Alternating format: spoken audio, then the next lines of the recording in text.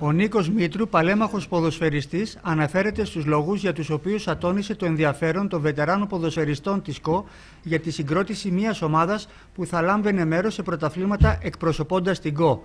Επίσης, μιλάει για τη νέα προσπάθεια δημιουργίας ομάδας ποδοσφαίρου βετεράνων προκειμένου να συμμετάσχει σε πρωτάθλημα που διεξάγεται στη Ρόδο με μεγάλη συμμετοχή ομάδων και απόλυτη επιτυχία.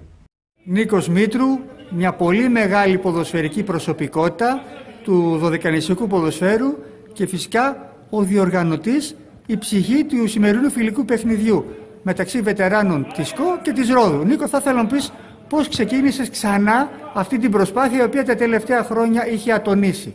Ε, διατηρώ πολύ καλή φιλία με διάφορα παιδιά παλιούς παλιμάχους από την Ρόδο ε, και, αυτές, ε, και αυτοί οι ποδοσφαιριστές είχαν αφήσει εποχή στο δικαστικό ποδόσφαιρο ε, μέσα σε αυτά τα πλαίσια να συνδέσουμε και να νιώσουμε ξανά και να νιώσουμε τις παλιές καλές στιγμές και τη φιλία μας να ξανασταθεί, να θεμαθεί.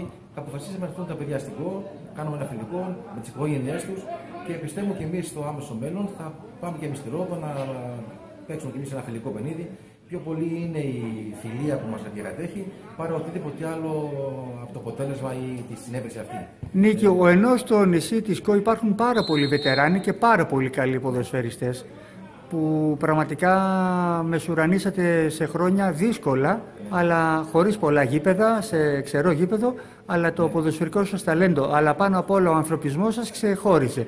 Θα ήθελα να πεις, γιατί τα τελευταία χρόνια ατόνισε, ατρόφησε αυτή η προσπάθεια που είχατε ξεκινήσει πάλι πριν τρία χρόνια να κάνετε μια πολύ ισχυρή ομάδα και δύο ισχυρές ομάδες βετεράνων. Ε, κοίταξα, σε τα χρόνια που ασχολιόμασταν με το ποδόσφαιρο ήταν ε, το happening όλου του νησιού. Ήταν κάτι το οποίο ο κόσμος στο γήπεδο έβλεπε πραγματικά ε, κάποια άλλη τόνο ποδοσφαίρου που δεν το έβλεπε πουθενά.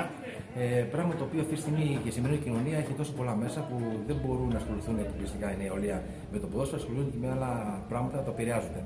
Λοιπόν, ε, μέσα σε αυτό το φάσμα ε, βλέπεις ότι έχει ατονίσει και το ποδόσφαιρο το συγκεκριμένο το τωρινό, χωρίς να θέλω να μειώσω οποιαδήποτε άλλη προσπάθεια παραγόντων ή προσφεστών, αλλά κατά τα ψέματα οι ίδιοι οι φίλαθλοι είναι αυτοί που δίνουν τον τόνο στην κερκίδα άμα δουν κάτι καλό. Ε, στα δικά μας χρόνια έβλεπε και μισή κόσμος στο γήπεδο και δεν έχαναν το παιχνίδι. Τώρα αυτή τη στιγμή πας και βλέπεις 10, 15, 20, άντε 50 άτομα πάνω, το βλέπεις. Και πιο πολλοί είναι υποσχεστέ από αντίπαλε ομάδε. Βέβαια αυτό για να ξαναθερμαθεί χρειάζονται βάσεις, προοπτικές και άνθρωποι που μπορούν να δώσουν λύσει σε τέτοια θέματα και προβλήματα.